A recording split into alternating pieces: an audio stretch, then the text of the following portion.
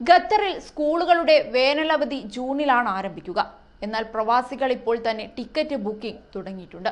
അവധിക്കാലത്ത് കൂടുതൽ പേർ നാട്ടിലേക്ക് തിരിക്കുമെന്നറിയുന്ന വിമാന കമ്പനികൾ ടിക്കറ്റ് നിരക്ക് കുത്തനെ ഉയർത്തിയിരിക്കുകയാണ്.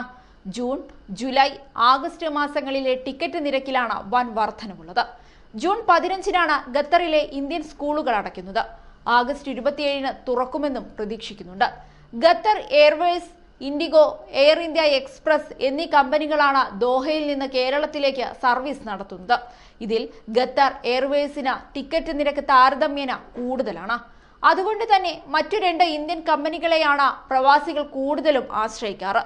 ജൂൺ ആഗസ്റ്റ് മാസങ്ങളിലെ ടിക്കറ്റ് ബുക്ക് ചെയ്യുമ്പോൾ നാല് പേരടങ്ങുന്ന കുടുംബത്തിന് രണ്ട് മുതൽ മൂന്നര ലക്ഷം വരെ രൂപ ചിലവ് വരുന്നുണ്ട്.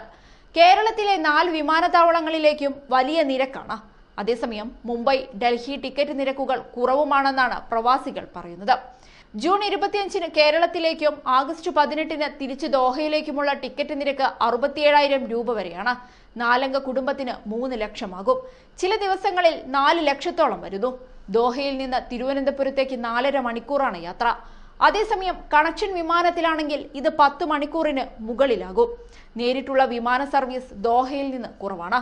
മിക്ക വിമാനങ്ങളും അബുദാബി ഷാർജ വഴി പോകുന്നവയാണ്. ഇതുമായി ബന്ധപ്പെട്ട പരാതികൾ ഏറെ ഉന്നയിച്ചിട്ടുണ്ടെങ്കിലും ഫലമില്ലെന്നാണ് പ്രവാസികൾ പരാതിപ്പെടുന്നത്. സ്വദേശികളേക്കാൾ കൂടുതൽ പ്രവാസികളുള്ള രാജ്യമാണ് ഖത്തർ. എൺപത് ശതമാനത്തോളം ഇവിടെ വിദേശികളാണ്. ഇതിൽ കൂടുതലും മലയാളികളാണ് എന്നതും എടുത്തു പറയേണ്ടതാണ്. എന്നാൽ മലയാളികളുടെ യാത്രാക്ലേശം പരിഹരിക്കാൻ സർക്കാർ നടപടി എടുക്കുന്നില്ലെന്ന് പ്രവാസികൾ പരാതിപ്പെടുന്നുണ്ട്. ടിക്കറ്റ് നിരക്കിന്റെ മറവിലേക്കുള്ള അവസാനിപ്പിക്കണമെന്നാണ് പ്രവാസി സംഘടനകളും ആവശ്യപ്പെടുന്നത്.